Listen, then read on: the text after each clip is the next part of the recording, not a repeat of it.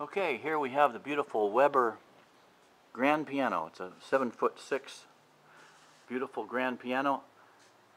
All done, refinished, looking great, looking like new.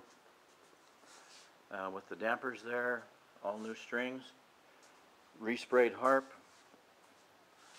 This gives you the uh, tremendous length of the piano, the how it looks from how, how long it is. It's designed for concerts.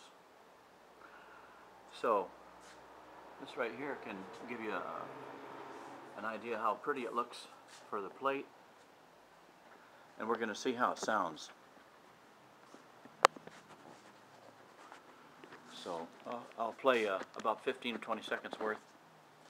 See how it sounds.